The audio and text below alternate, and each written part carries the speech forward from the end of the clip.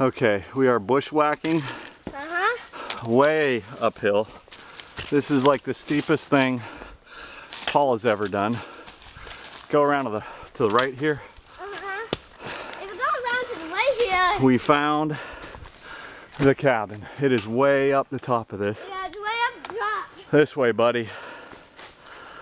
Man, it's really hard to see, guys. Yeah, it is.